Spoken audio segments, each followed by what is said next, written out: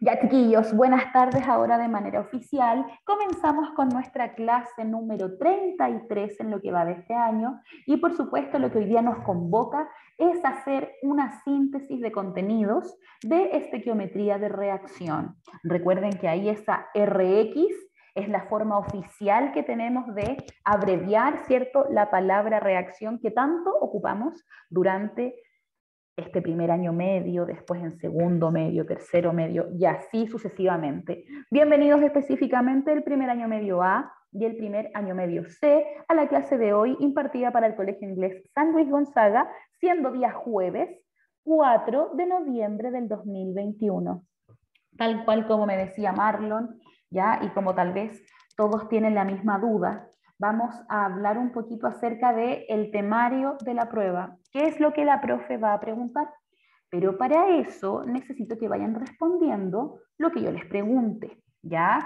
Recuerden que aquí no podemos ser todos muditos porque si estamos todos calladitos, esto es un monólogo y no una clase. La clase es más enriquecedora en la medida de que ustedes, los estudiantes, manifiestan lo que tienen claro y lo que tal vez necesitan eh, reforzar, ¿ya? Así que eso. Continuamos entonces los contenidos para la prueba de mañana. Recordar que esta prueba es de alternativas.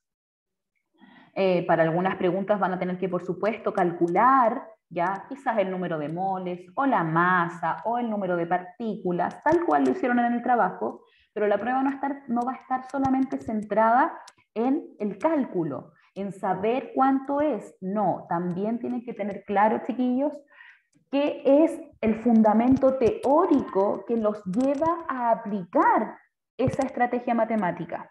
Yo no fui en una clase y dije, miren chiquillos, estos son los moles, calcúlenlos. No, al contrario, primero tenemos que tener una base sólida de qué es la estequiometría.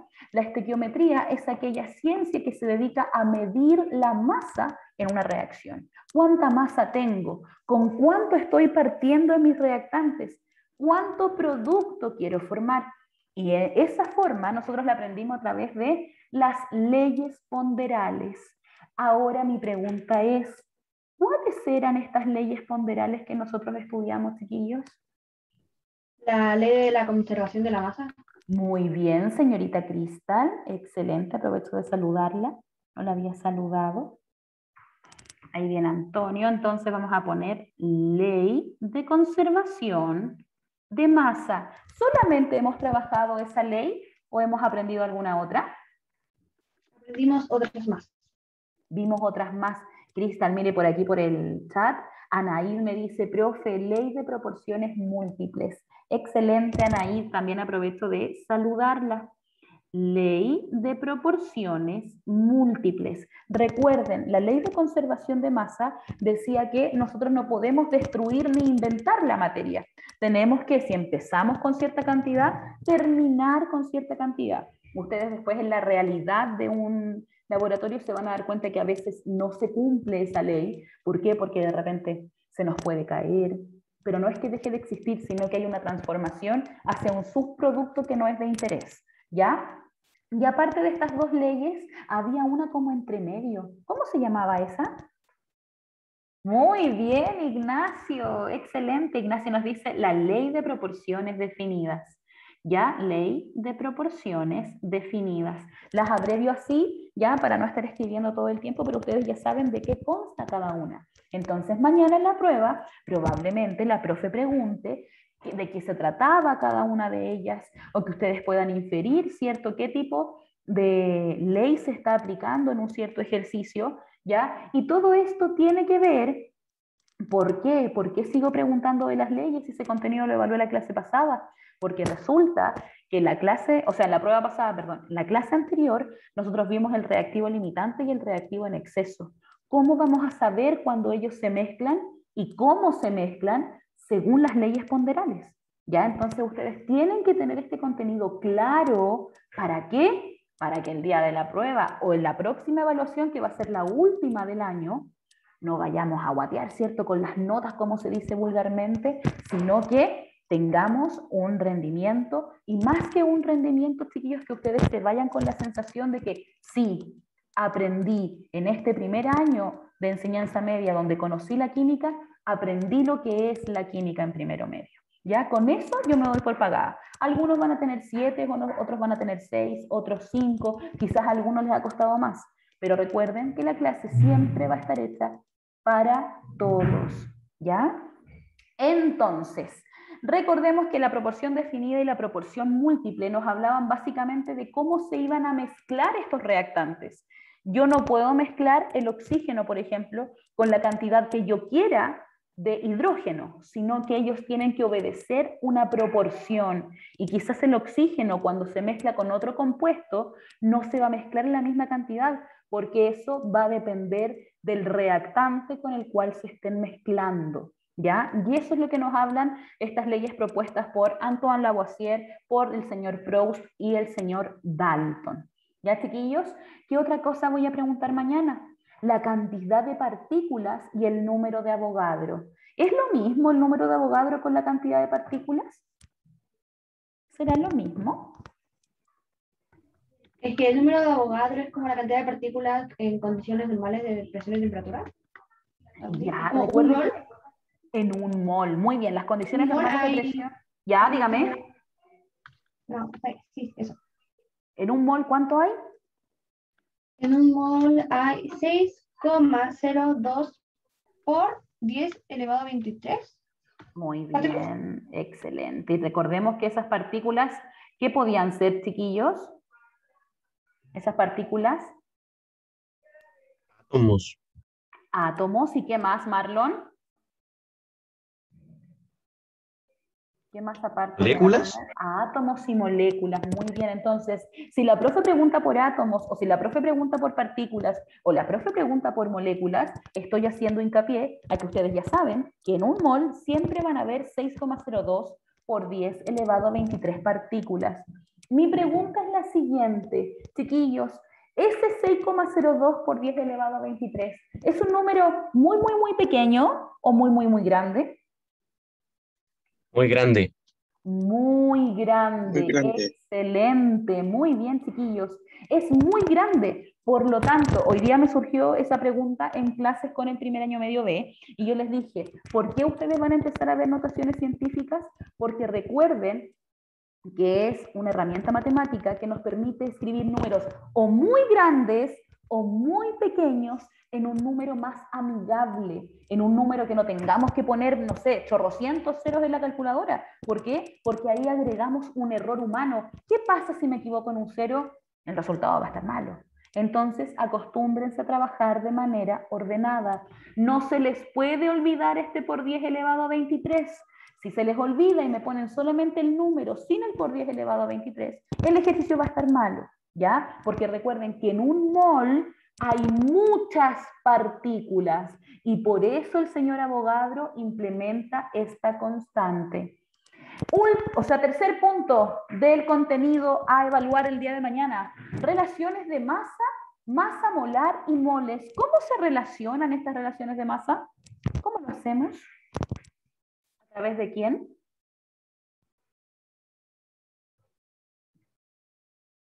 ¿Cómo se relacionaban, chiquillos?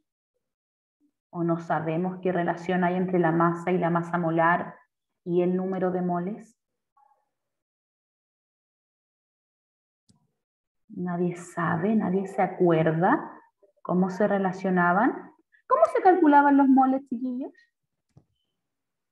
Multiplicando la masa molar por la, por la masa los moles, multiplicando o dividiendo, Marlon. Se necesitaba uno o Los moles es dividiendo. Dividiendo. Ya, Daniel, lo escuchamos. Ahora sí, fuerte. Uno de los dos para calcular. Ejemplo, ya quiero calcular masa, tendría que, ejemplo, usar alguno de los dos para llegar a descubrir cuál es la masa. que los tres dependen entre sí. Excelente. O sea, muy bien, dio en el clavo. Todos dieron un aporte muy importante. ¿Por qué? Porque resulta que estas relaciones de masa nos dicen masa, masa molar y moles. Pero resulta que si yo tengo dos de ellas, voy a calcular la que me falta. ¿Ya? Acuérdense del triangulito. Yo les enseñé un triangulito. ¿Se acuerdan de ese triángulo, no? De la clase que vimos el triángulo.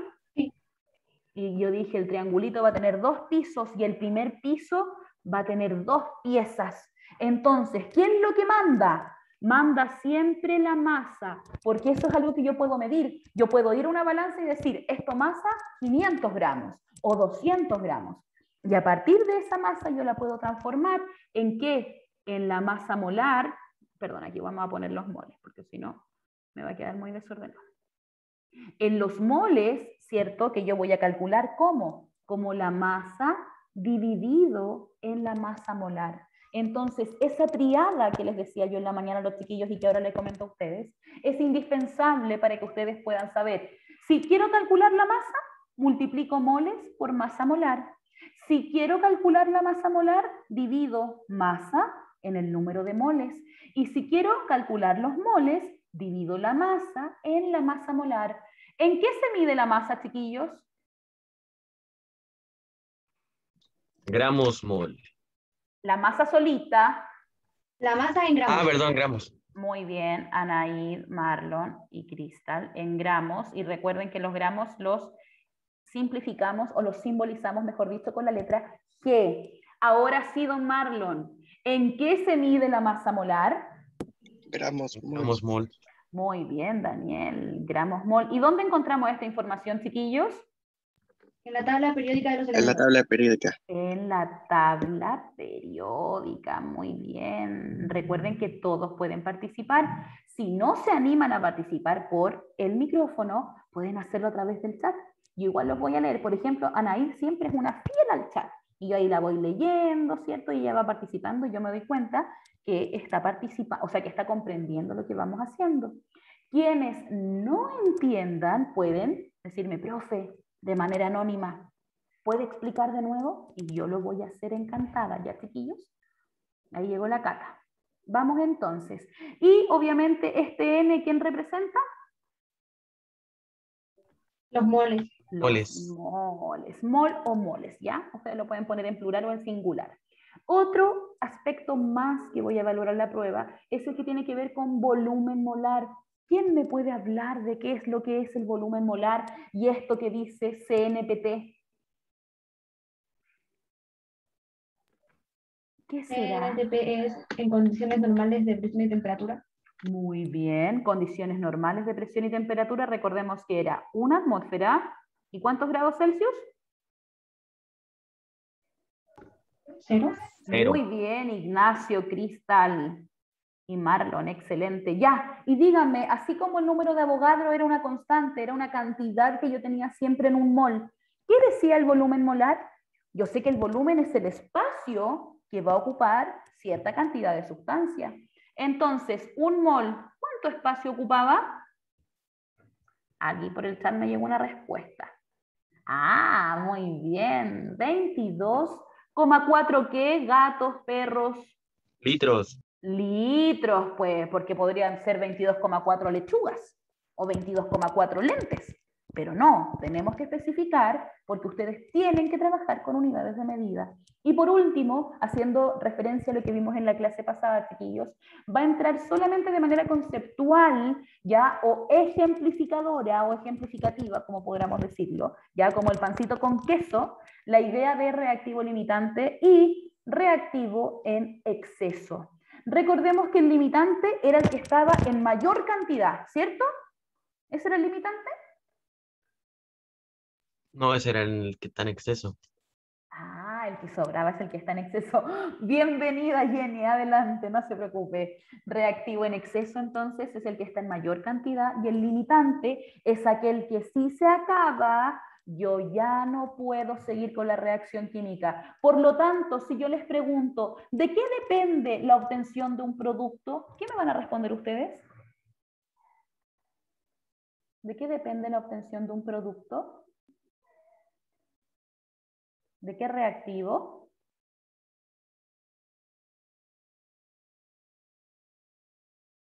¿De qué reactivo depende? El limitante. Del limitante, porque se me acaba y pues ya no puedo más. Si a mí se me acaba, por ejemplo, el agüita y me quiero hacer un tecito, puedo tener todas estas bolsas de té, pues chiquillos. Pero si no tengo agua, no puedo llegar a mi producto, que es tomarme un tecito calentito. Ya. Así que eso. Vamos entonces, voy a presentar el objetivo de la clase que se me corrió en la diapo, pero obviamente lo que estamos haciendo es sintetizar contenidos relacionados con, es- con estequiometría de reacciones químicas. ¿Están preparados entonces hoy día para empezar a contestar un par de preguntitas para ver cómo estamos para mañana? ¿Están listos o no están listos? Quiero saber quién está atento a la clase. Vamos respondiendo por el chat o reaccionando con monitos como la Mayra. Muy bien. Muy bien, Marlon. Me voy a pasear por las ventanitas porque tengo que ver quién está atento. Vamos reaccionando con un monito. Muy bien, Anaíd. ¿Quién más está por aquí? ¿Nadie más? El Seba, Juan Pablo, con un monito real. ¿Quién más? Nadie más parece que está atento. Pucha. No van a haber décimas para mañana entonces, porque aquí nadie, nadie más. Muy bien, Leandro. Excelente. Lucas. Martín. Ya, ahí aparecieron más. Ah, y por el chat también. A ver quién está por aquí. Estamos listos, dijo la Sofi, la Cristal, el Daniel, la Sofi Holguín, Jenny, Juan Pablo, el Ignacio y Yael. Muy bien. Ya, entonces ahí animé un poquito. Si no, vamos entonces, chiquillos. Como actividad inicial, yo sé que ya hemos, hemos pasado harta parte de la clase hablando en el temario y básicamente activamos todos los conocimientos necesarios. Me van a decir ustedes, ¿cómo podríamos hacer con, un, con ideas que ustedes tengan, con palabras, explicar un poquito lo abordado en la unidad de estequiometría? ¿Cómo lo vamos a hacer? Ustedes me van a decir conceptos y yo voy a ir creando un mapa conceptual aquí, en la clase. Entonces, nuestro eje central es estequiometría. ¿Cierto? ¿Qué estudiamos en la estequiometría, chiquillos? La masa. Estudiamos la masa. Pongámosle materia y de ahí ejemplificamos masa.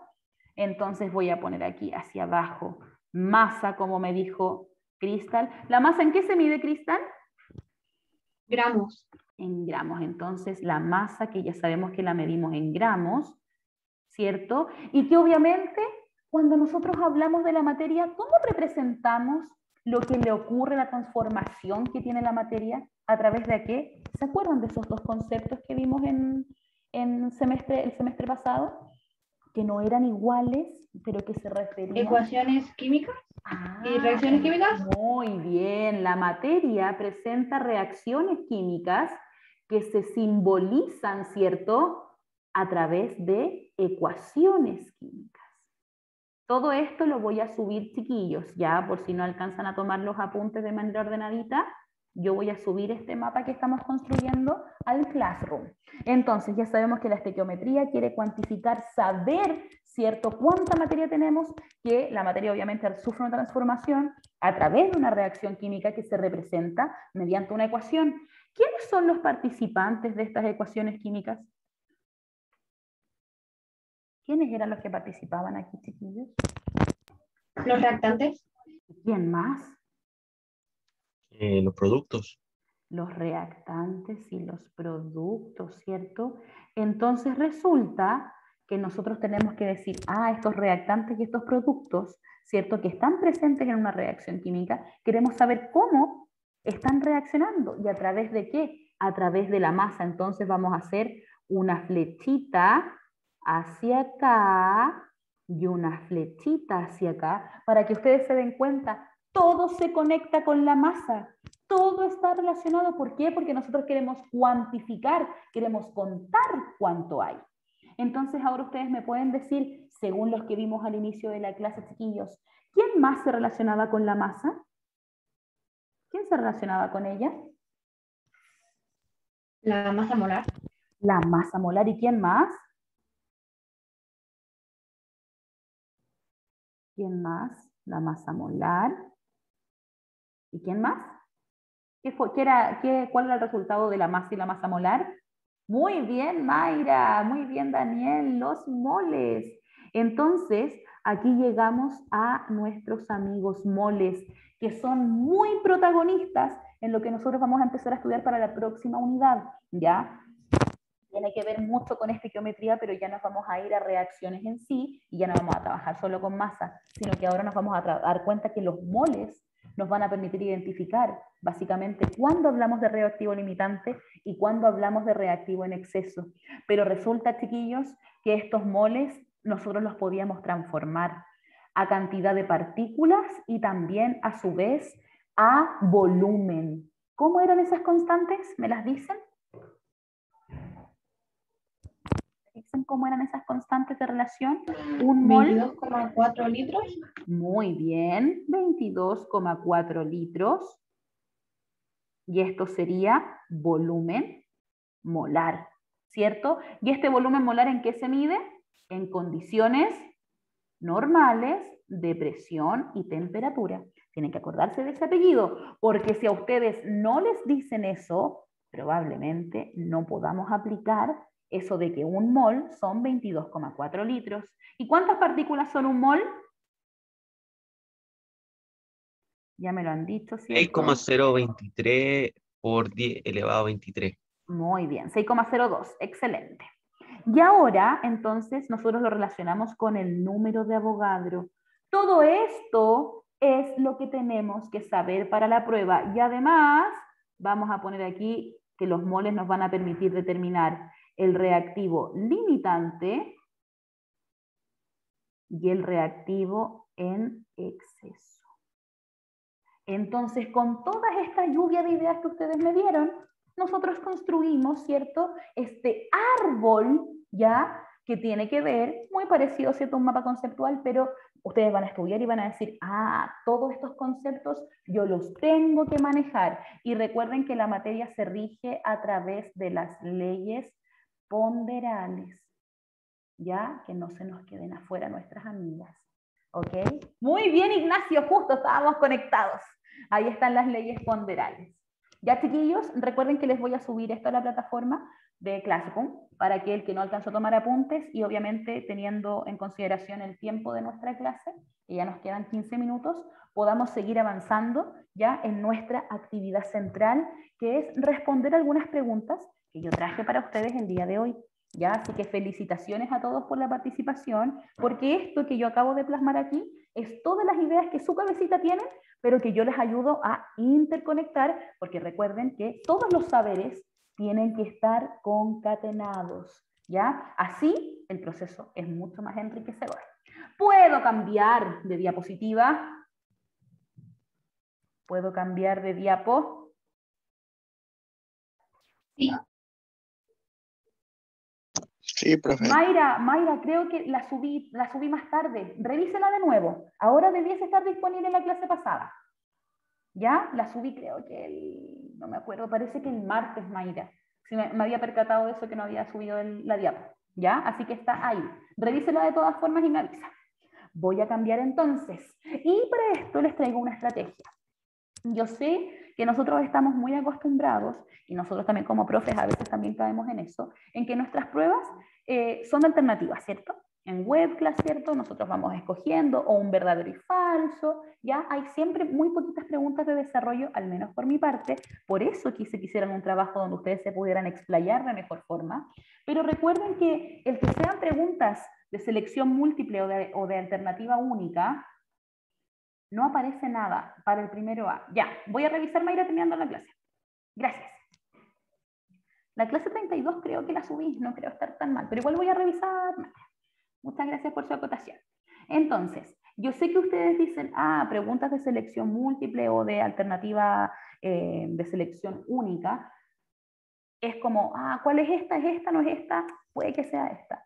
Pero no siempre lo tenemos que ligar, chiquillos, a que es poco menos que una suerte de ping-pong o de cachipún. Este, este, este, este. Me voy por esta. No. Recuerden que todas las respuestas que ustedes dan tienen una fundamentación teórica. ¿Y de dónde viene esa fundamentación teórica? De todos los conceptos que ustedes están aprendiendo durante todas las clases. O sea, yo no puedo responder algo porque, ah, yo creo. No, la respuesta está en lo que ustedes tienen en su cabecita. Una vez que ustedes internalizan ese concepto y que se dan cuenta de que, ah, la profe habló de los moles, claro, porque los moles son la cantidad de sustancia y la cantidad de sustancia es distinta para todos porque va a depender de la masa molar. Aunque los dos tengan un kilo, su masa molar va a ser distinta. Ah, lo entendí. Mi cabeza hizo sinapsis y mis neuronas ¡pium! conectaron. Cuando eso ocurre, ustedes ya están preparados para ejercitar. ¿Para qué, por ejemplo? Para hacer el, trabajo que entregaron la semana pasada. ¿Ya? Eso es lo que ocurre cerebralmente. No solamente se acostumbren a que, ah, es una alternativa, no importa, acá, chi, pum, esta es. No, no es así. ¿Ya? Así que van a recurrir a su cabecita. Entonces, una vez que yo logro tener estas tres habilidades de reconocer cuál es la respuesta correcta, ¿cierto? Luego de, mm, eh, ¿cómo se dice? De relacionarla con un concepto y después de aplicarla en un ejercicio, estoy preparada y preparado para qué? Para enfrentar cualquier evaluación de química ahora o de química después. Me lo van a preguntar después en la prueba de admisión a la universidad. Sí, porque esta materia entra en la prueba de ciencias de la admisión a la universidad, pero ustedes ya lo van a tener claro. Entonces, para eso traje unas preguntas. Pregunta número uno, como ya estamos preparados y entendemos que nuestra cabecita tiene que funcionar, yo les pregunto, chiquillos, ¿qué mide un mol? Alternativa A, la masa de moléculas. Alternativa B, la cantidad de materia. Alternativa C, la masa molar. Alternativa D, el volumen. Y alternativa E, el peso. Van participando a través del chat o activan batería. micrófono. Maxi, bienvenido. Ya, aquí me dijeron una alternativa. ¿Quién más? Cristal, me había dicho la B entonces. Aquí me llegaron. Ya. Cristal, B me dicen Cata, B Mayra, B Juan Pablo, B. Hay una inclinación, Renato también dice la B. Y chiquillos, pero no dije recién yo que los moles eran la cantidad de sustancia. ¿Por qué ustedes me hablan de cantidad de materia? A ver, explíquenme, ¿por qué se inclinaron por la B? A ver, me llegó una respuesta. Ya algunos pensaron que era la A. Muy bien. Vamos a... Están efectivamente en lo correcto cuando me dicen que es la letra B. Recuerden que les pueden hablar de materia o de sustancia y se están refiriendo a lo mismo, ¿ya? Así que si yo lo hago dudar, es solamente para que ustedes digan, no, son palabras sinónimas. Materia o sustancia, estamos hablando de la composición que tenemos de algún elemento o compuesto en específico. ¿Por qué no es la letra A o la letra C? Porque recuerden que la masa de las moléculas es la masa en sí, lo que nosotros medimos en gramos, y los moles se miden en mol. Gramol, gramos, espérenme, ahí sí. ¿Ya? ¿Y por qué no puede ser la masa molar? Porque recuerden que esto es un dato de la tabla periódica y se mide en gramos por mol. ¿Cuántos gramos tiene un mol de sustancia? ¿Ya? Entonces, alternativa correcta, gramol había puesto ahí. Alternativa correcta, letra B. Estrellitas para todos los que respondieron. Para bien o para mal, para todos estrellitas. Pregunta número dos. El subíndice estequiométrico en un compuesto indica alternativa A, el número de moléculas. Alternativa B, la cantidad de masa. Alternativa C, el volumen molar. Alternativa D, el número de átomos. Y alternativa E, la masa molar. Ya, muy bien, Maite. ¿Quién más? Vamos, vamos, todos participando. Muy bien, Anaíd. Excelente, Juan Pablo, Cristal. ¿Quién más está ahí? La Cata. Vamos, vamos. Muy bien, Daniel. ¿Quién más?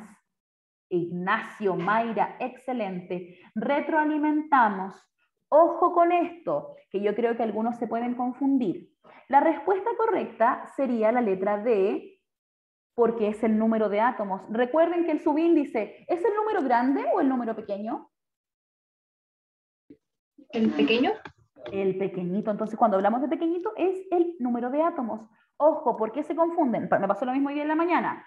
Porque dice subíndice estequiométrico. Le pueden poner el apellido estequiométrico, pero no, no están hablando de coeficiente. Cuando hablamos de coeficiente es el número grande y ahí sería la alternativa, la alternativa A.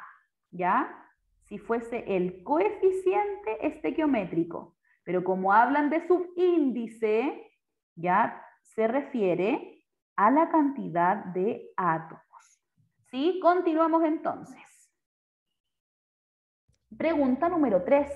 ¿Cuál de las siguientes notaciones indica que se trata de una sustancia disuelta en agua? Aquí a ver cómo están los contenidos pasados. ¿Quién se acuerda? Vamos, vamos.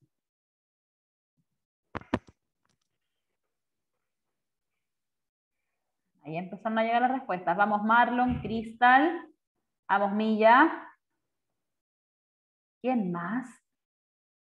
Tan poquitos están medios jugosos en esta. Muy bien, Mayra. Marilú, bienvenida, excelente. Entonces, vamos a retroalimentar. ¿Por qué ustedes me dicen que es la letra A si ahí no dice agua, dice AC y el agua es en estado líquido? ¿Acuosa?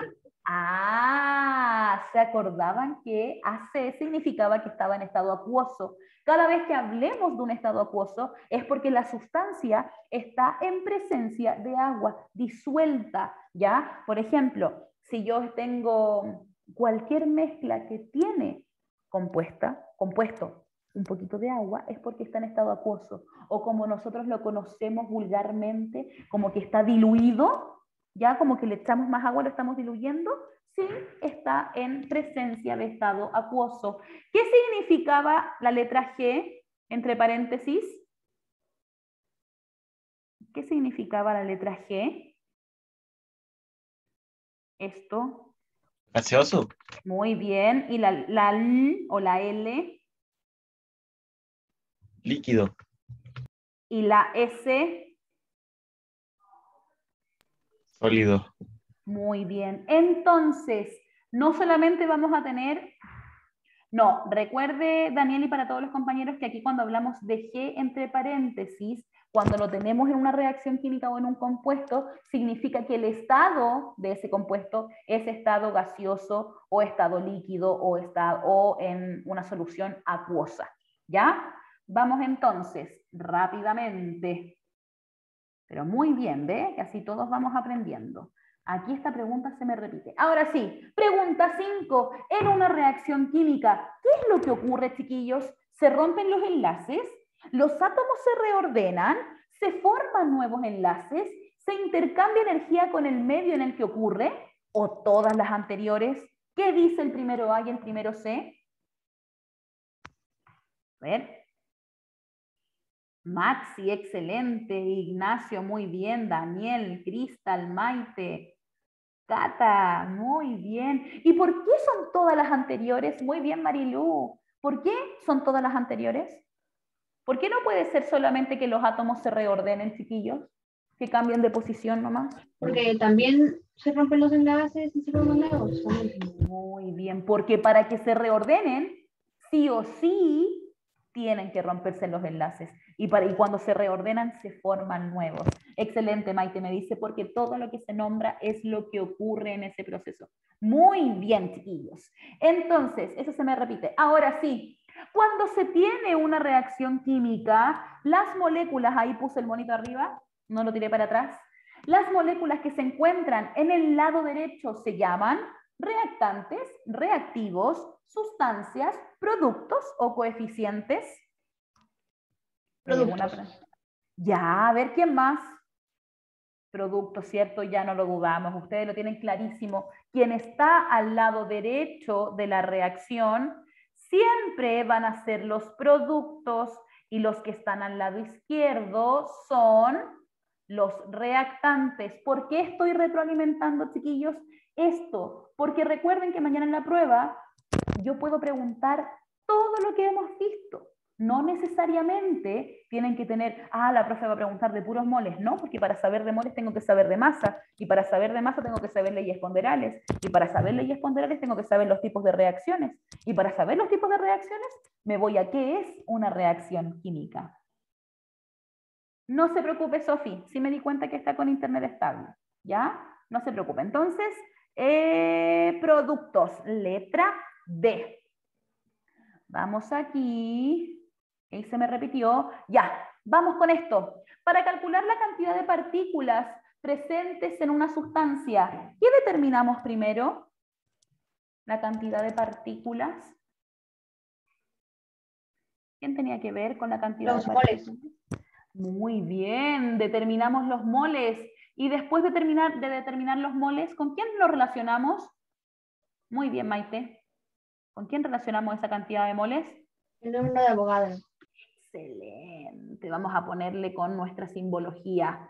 Número de Avogadro. Excelente, muy bien. Ahora, el reactivo ta ta ta ta ta es aquel que condiciona la formación de producto. ¿Qué reactivo es ese? Acuérdense que hay dos. ¿Quién es el que condiciona la formación de producto? Muy bien, Cata, excelente. El reactivo limitante. Muy bien, la compañera. Recuerden que si se acaba, ya no tengo más formación de producto. Abajo, las condiciones normales de presión y temperatura o las CNPT corresponden a... Muy bien, Maite y Marilú, excelente. ¿A qué corresponden las condiciones normales de presión y temperatura? ¿Una atmósfera de qué? De presión, acuérdense que su apellido es atmósfera, pero representan a la variable presión. ¿Y cuántos Celsius? Muy bien, Ignacio. Y 0 grados Celsius de temperatura. Muy bien, excelente. Ven, despertaron, chiquillos. Muy bien. Y ahora, entonces, les dejo para que ustedes refuercen calcular los moles, ¿cierto? Ustedes saben convertir esos moles a volumen, ¿ya? Básicamente es el tipo de ejercicio que resolvieron ustedes en la guía o en el trabajo que entregaron el día eh, el lunes 25 pasado, ¿ya? Entonces, chiquillos, tengo una pregunta para terminar con esta clase, para dejarlos pensando. Fíjense, un fabricante de bicicletas dispone de 5.350 ruedas, 3.023 marcos y 2.655 manubrios. ¿Cuántas bicicletas puede fabricar con estas partes? ¿Por qué la profe está hablando de bicicletas y la clase es de química?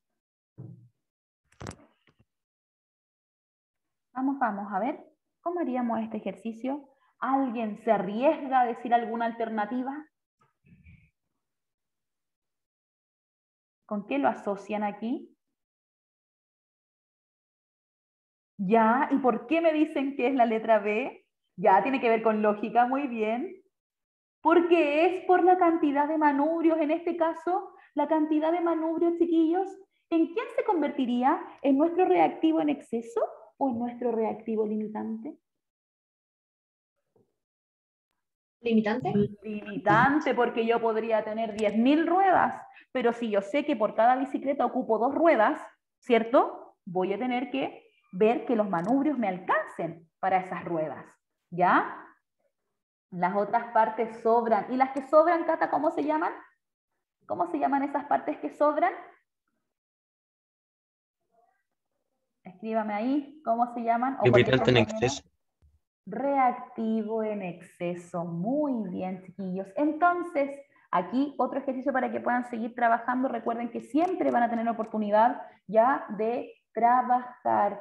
Muy bien, Marilú, muy bien, Maite. Excelente la participación. Recordar entonces que mañana es la prueba de química desde las 14 horas hasta las 23.59 y junto a ello que todo el material pedagógico está disponible en Classroom. Voy a revisar, Mayra, lo que me dice que no está la clase pasada para obviamente adjuntarla, las clases grabadas en el canal de YouTube y cualquier duda, pregunta, consulta a mi correo electrónico. La subo ahora, la subo ahora, ahora, ahora, Juan Pablo, ¿ya? Para que puedan tomar sus apuntes y todo. Vamos a mantener, voy a dejar de compartir, voy a